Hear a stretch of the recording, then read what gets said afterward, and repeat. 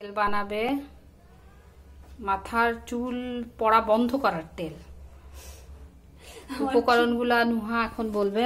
নুহা হ্যাঁ বলো। এখানে আছে তেল এক পোয়া মেথি কালো জিরা আমলকি মেহেদি পাতা পেঁয়াজ ক্যাস্টার অয়েল বলো নুহা এখন কি করবা?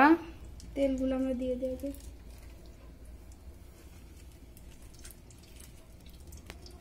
এখন এখন কি দিবা মা? ক্যাস্টার অয়েল ক্যাস্টার অয়েলের বোতলটা একটু দেখাই দিতা ক্যাস্টার অয়েলের বোতল দেখা দেওয়া লাগবে।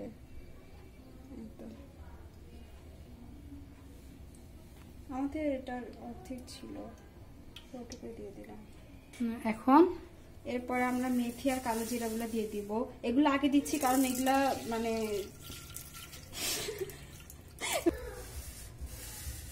হুম, তারপরে আর কি দিবা? কালো জিরাগুলোও দিয়ে দিই। দিয়ে দিই। জাল কেমন থাকবে? সেটা তো বললা না। জাল একদম কম থাকবে তাই না? কম আছে কি করতেছো? কিছুক্ষণ নাড়তে থাকি। ওকে এখন কি দিবা তাহলে? আমরা মেথি আর কালো জিরাটাকে কিছুক্ষণ একটু নাড়ে নিলাম দেখতে পাচ্ছ? ফেনা উঠতেছে।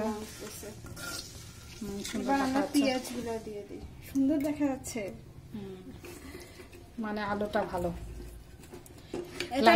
মেথি- মেথি আর কালো জিরা আগে কারণ কি? মেথি আর কালো জিরা নির্যাসটা তেলের সাথে মিক্স হতে একটু টাইম লাগবে না। এখন আমরা পেঁয়াজটা দিয়ে দিই। আমি অনেকগুলা রেসিপি দেখে এইটা এক্সপ্লোর করছি যে এটা ঠিক আছে। তাই। আমি চুল পড়া নিয়ে অনেকদিন থেকে অনেক টেন্স ছিলাম। অনেকদিন থেকে আমি তেল বানাচ্ছি। ওই তেল দুইটা ওই যে বানানোর তেল যেটা আমি এখনও মাথায় দিয়ে আসি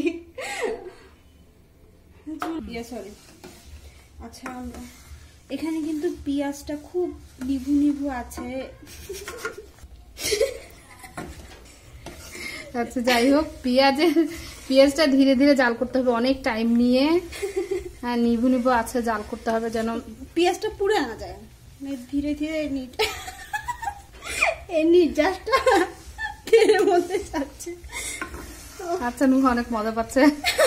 নুহা অনেক কখনো মানুষকে এরকম করে শিখাইনি তো। আচ্ছা আমাকে শিখাও মানুষকে শেখানোর দরকার নেই আমি তো তোমার হ্যাঁ এখন? দেখো কীরকম ফেনা উঠছে। হ্যাঁ ফেনা উঠছে। এখন আমরা আমলকি গুঁড়া দিয়ে দিতে পারি। দিয়ে দাও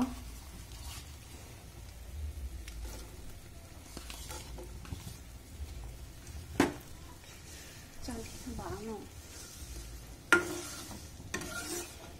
হুম, এখন তাহলে কি দিচ্ছ মা? এবার মেহেদি পাতাগুলো দিয়ে। ওকে দিয়ে দাও। মেহেদি পাতা চুলের গোড়া শক্ত করে তাই? অনেক কিছু জানে আমার মেয়েটা। এগুলো অনেক দিন থেকে ইনভেস্টিগেশন করছি। রিসার্চের ফল। হুম। আমাদের না মেহেদি পাতা তেলের থেকে বেশি হয়ে গেল এখন আমরা কি করব মেহেদি পাতা তো ইয়ে না পাতা জিনিসটা না। এটা শুকায় যাবে তো হ্যাঁ। হ্যাঁ। অল্প হয়ে যাবে টেনশনের ব্যাপার না এরকম করতেছো কেন? আমি করতে করতে শিখব। আমি তো আমার তো বিশ বছর ধরে সংসার করতেছি। না। না না তুমি কই সংসার করতেছো? সংসার তো আমি করতেছি। তাও কিছু পারি না। ঠিক। এটা কি বলা আমার ভুল হলো? এক ঘণ্টা হয়ে গেছে। এটাকে নামানোর সময় হয়ে গেছে এখন তাহলে? হ্যাঁ হয়ে গেছে। দেখো এগুলা ক্রাঞ্চি হয়ে গেছে। মানে পুড়ে যাবে না বাট একদম তে হ্যাঁ মানে এটা বোঝা যাচ্ছে যে সব উপাদানগুলো তেলের মধ্যে চলে গেছে যে তেলটা সরষের তেলের মধ্যে আছে। এখন আমরা এটাকে নামায়া ছেঁকে নিব। ছেঁকে জালে রাখব। যারা ওকে এখন আমরা ছেঁকে নেই। তেলটা ছেঁকে নেওয়া হচ্ছে। খেলো না নিচে না হ্যাঁ আমি ট্রাই মারবো তোমার কড়াইটা অনেক ভারী। কড়াই তো না কড়াই। কি বলা যায়? কিসের কড়াই বললে বেশি ভারী বোঝা যাবে না। কিসের কড়াই বলা যায়? সোনার কড়াই সোনার কড়াই হীরার কড়াই রূপার কড়াই। ক্যাডমিয়াম ধাতু পালাই। মানুষেরগুলা কিসের কড়াই হয়? আমারটা যে এত ভারী।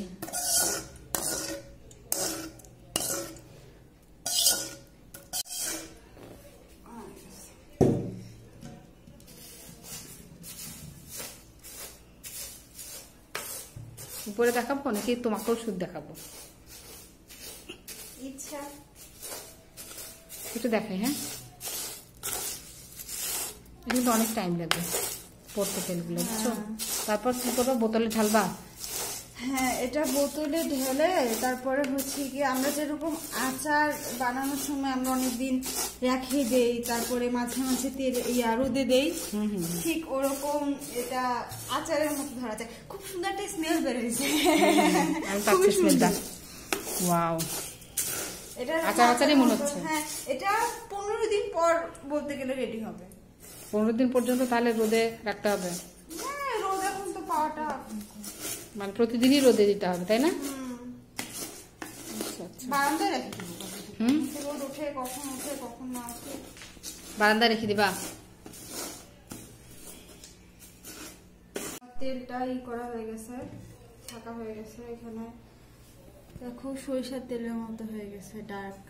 হুম ডার্ক হয়ে গেছে। ভরবো।